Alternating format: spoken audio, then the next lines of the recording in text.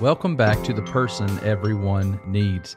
I'm your host, Webb Hoggard, and I want to take a second as we're in episode 11. We finished 10 of these so far.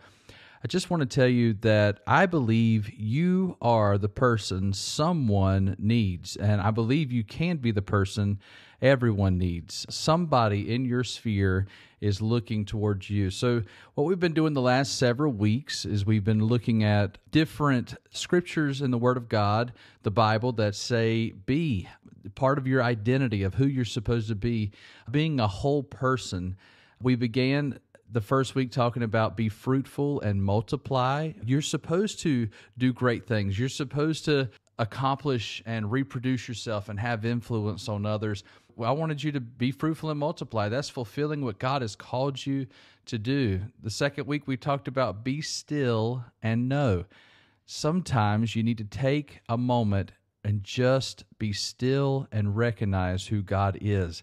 God is on the throne. God is in control. God has a plan for your life. Take a moment daily, take a moment in silence and just remind yourself that He is God. We talked two weeks ago about be strong and courageous. This is one of my favorite, but it's time to do something. Grow, get up, become a skilled person, find what you're good at, and then have the heart to finish it, to do great things all the way to the end. Last week was be kind and compassionate. Be kind and tenderhearted like God. That's how you imitate who God is. And so I encourage you to be kind. So this week, I wanted to remind you be steadfast and movable. We want to talk about be steadfast and movable. Now, that's one of the weird words my sons don't always understand when I tell them to be steadfast. That's a word that isn't as regular in our vocabulary. But the word steadfast, it just means tenacious. It means perseverant, enduring, that they're going to be there all the way to the end. There's nothing going to make them shrink back, that they are going to be someone, when they start something, they're going to finish it. They're going to be people of their integrity.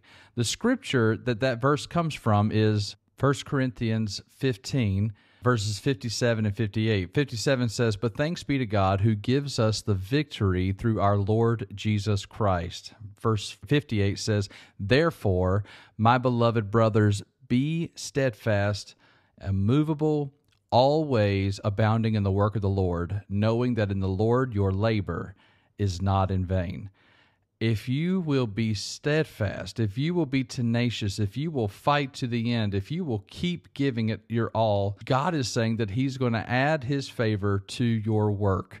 That's what needs to happen. A lot of people in our day today, people want to give up quickly. If they don't get what they want, if they don't get easy benefit from what they are working toward, they're ready to quit. There's something powerful about those people that get up every day and go do the thing that they've been called to do. They are strong, moving forward every single day. And in order to do that, you have to remind yourself that you're a man of favor, you're a woman of favor, you're a person who God has smiled upon, you're a person that God sees as worthy of his time, his interest, his attention, his son, his son's blood, his sacrifice. God loves you. You are a person of favor. Remember Jonathan in the story that we've been telling. Jonathan was the only Israelite outside of the king with a sword.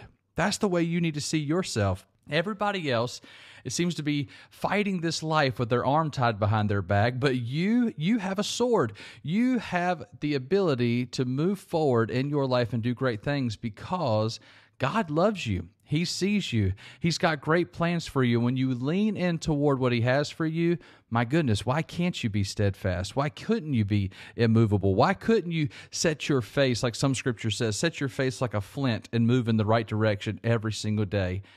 Map out your life, see who you want to be one day, and then every day begin to do the hard work of bringing that to pass and being steadfast, constantly steady in the direction that you want to go.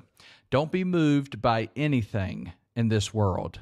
The only thing you should ever be moved by is your faith in Jesus. Can he do it? You know he can, and compassion for others. Because those are the only two things that Jesus was moved by. He was moved by faith and he was moved by compassion. So in this world, your belly, your flesh, this world, the demonic realm, they're going to do everything they can to distract you and discourage you. So I say to you, do not be distracted, do not be discouraged be encouraged to go the direction that you have called for yourself and move that way.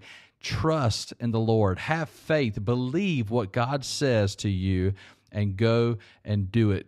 Believe who God says you are and go and be that person. Galatians tells us, Do not be deceived, for God will not be mocked. Those who sow will reap. And if you sow to the flesh, you're going to reap to your flesh. But if you sow to the Spirit, you're going to reap from the Spirit.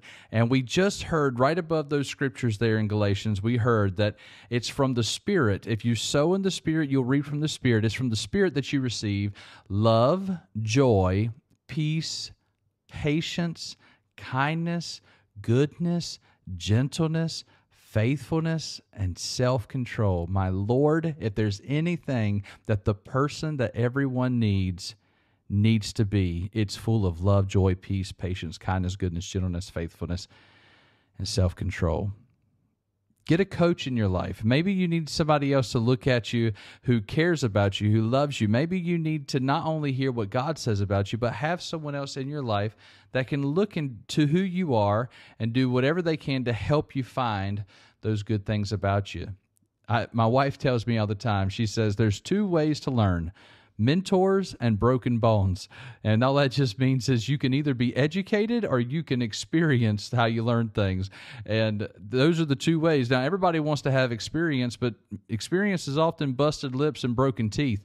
Uh, a lot of times, if you can find a friend, someone who's been there before you, you can learn a lot by listening, by living through the successes from their pain my encouragement to you is yes, so be who God called you to be, and then find a friend, a mentor, a coach, someone who has gone before you to help lead the way for what you need to do next. It's good to have those types of people. Don't submit yourself to everybody in the world. Don't submit yourself to just anybody. Find someone who's been where you want to be and then go where they're telling you to go. The third thing I would tell you the first, listen to God. Secondly, get a mentor. The third thing I would tell you is vision. Envision who you want to be.